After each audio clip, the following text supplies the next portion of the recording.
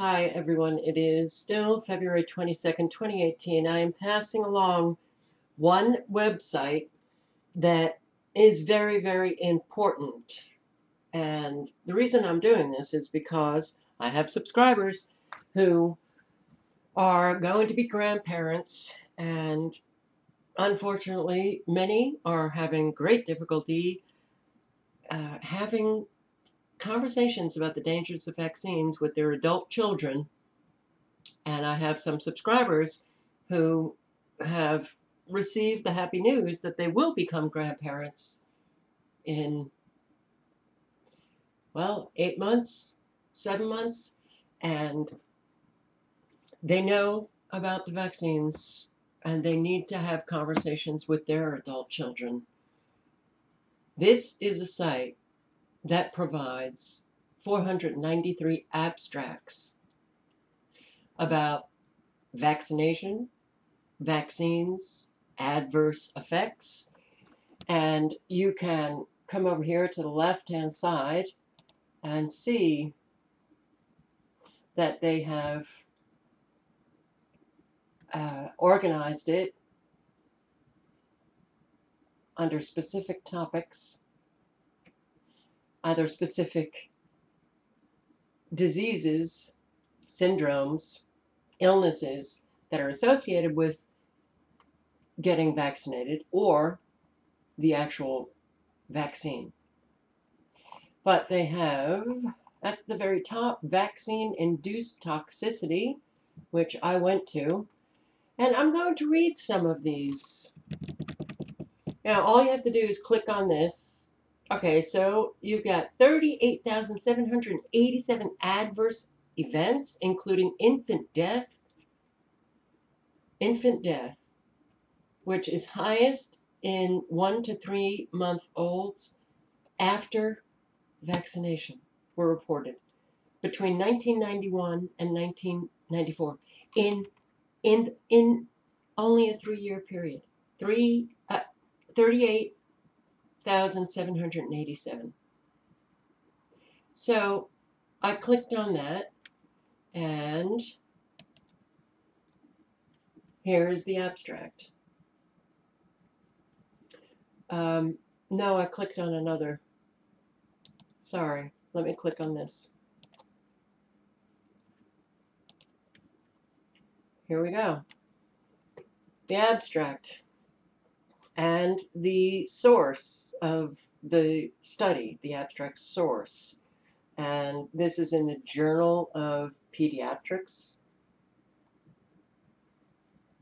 And here is the abstract. So what I am giving you is an arsenal uh, loaded with studies that you can provide to your adult children.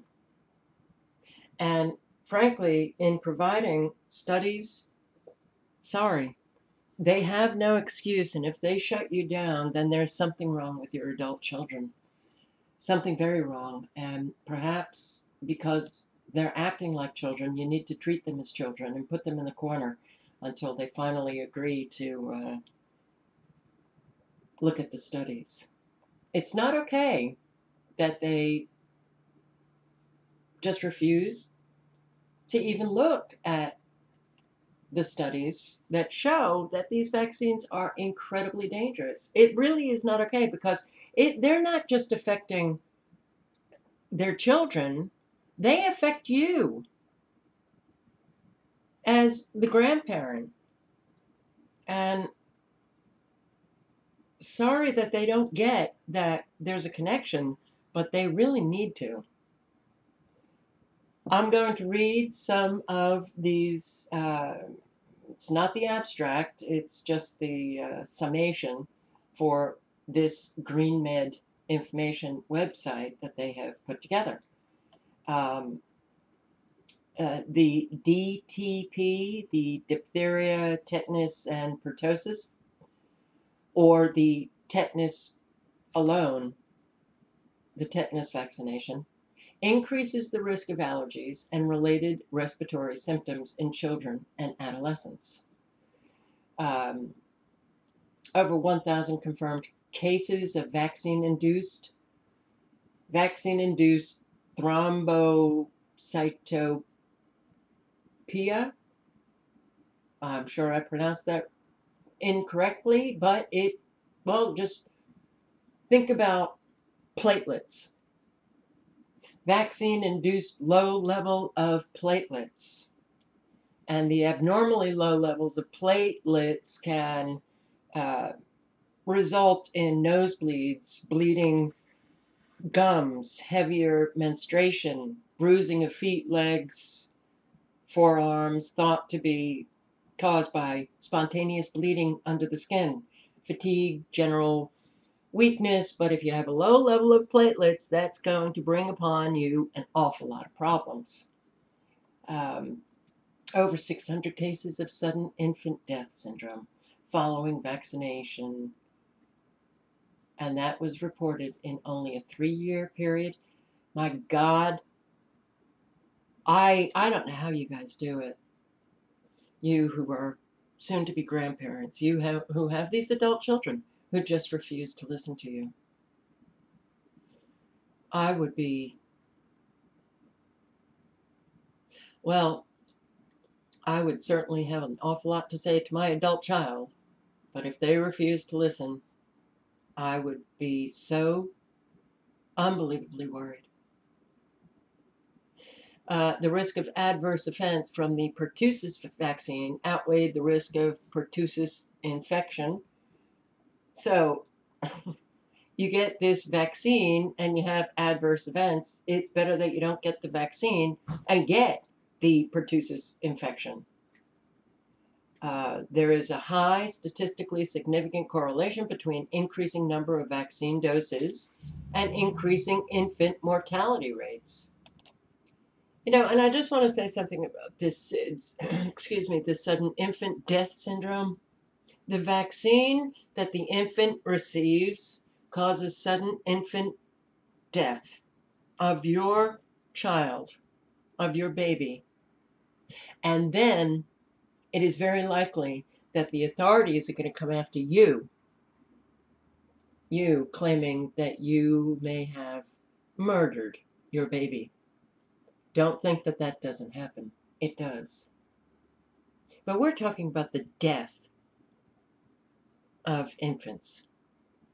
My God, if that doesn't bring a parent to be to their computer to do the research, then yes, I'm sorry to say this, you definitely have something wrong with your adult children. Thimerosal containing vaccines associated with autism, serious neurological disorders, um, and it's not just this one study, um, but several uh, scientists have found that there's an association with thimerosal and autism and neurological disorders. They found the link, that there is a link. Um, two of the largest randomized HPV vaccine trials unveiled more severe adverse events, more severe adverse events in the tested HPV vaccine Vaccination in infants less than three months is associated with an increased risk of sudden infant death syndrome. I'm not reading the same study, I'm reading multiple studies. Vaccination associated with a rare autoimmune neurological condition, transverse myelitis. Vaccination is associated with an increased risk of hemolytic anemia, um, the influenza vaccine is associated with Guillain-Barre syndrome. And it was very associated with the Medicare population in 2009 and 2010 due to the H1N1 get that flu shot and the elderly. I see some of them you, you can get a vaccine at a supermarket. You can get a vaccine at a uh, CVS. And sometimes I have walked into a Walgreens drugstore and they're there getting their flu shots. It's it's frightening. Uh, disabling syndrome of chronic neuropathic pain, fatigue, and autonomic dysfunction may appear after the HPV vaccination. Measles outbreak was reported in a highly vaccinated population in San Diego in 2008. So we've had these outbreaks that have occurred. It's not just those recent outbreaks, you know, in Disneyland in California. This has happened time and time again. Adverse effects of the tet- tetanus, toxoid, reduced diphtheria, toxoid, and acellular pertussis vaccine in a six to seven year old in six to seven and year old children. The military military population has been greatly adverse affected by the vaccines that they are ordered to take, to get. There are the birth defects. Um, and breastfeeding, I, I did do a review of these studies. Breastfeeding seems to decrease fever or um, other adverse effects after vaccination. So, breastfeeding, my God, breastfeeding is what the infant needs to build up their immune system so, as you're breastfeeding, if you're vaccinating your children, you better be breastfeeding as well, because that's one way to perhaps avoid the nightmare that so many are experiencing. Um, and CBD enriched hemp oil could be beneficial to girls uh, that have experienced adverse drug effects following the HPV vaccine.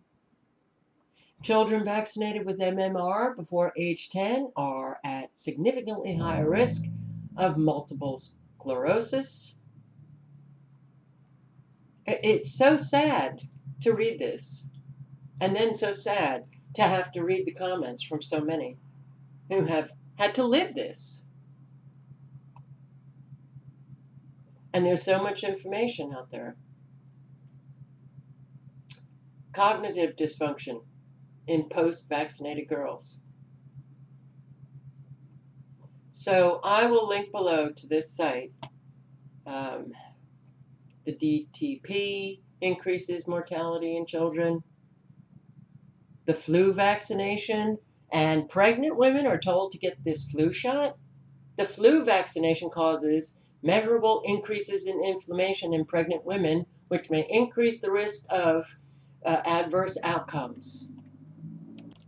I swear, these people with cars that need muffler work, they know when I'm going to be doing a video and they turn on their cars and drive by. Um, please circulate this. Please. Hepatitis B vaccine associated with an increased risk of liver problems in U.S. children less than six years old hepatitis B vaccine associated with an increased risk of multiple sclerosis. Hepatitis B vaccine has been associated with so many different illnesses, and it is the hepatitis B, I believe, that they give infants when they're born. Isn't that the vaccine? When they're born, they immediately shoot them up with a vaccine that is associated with so many problems. Incidents of adverse reactions to vaccine in pediatric populations are underreported and may be as high as 43.4% percent Influenza vaccine may increase the risk of Guillain-Barre syndrome. Influenza vaccine also, you will see, it is associated with so many different illnesses.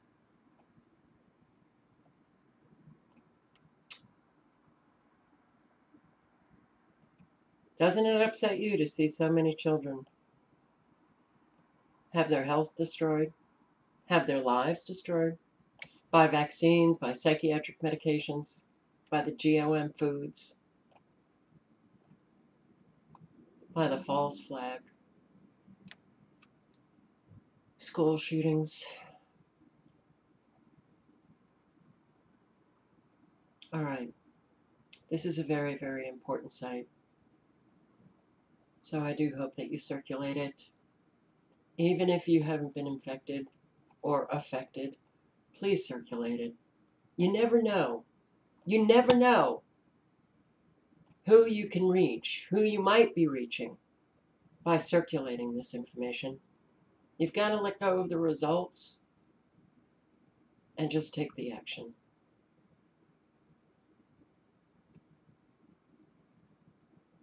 The link is below, guys.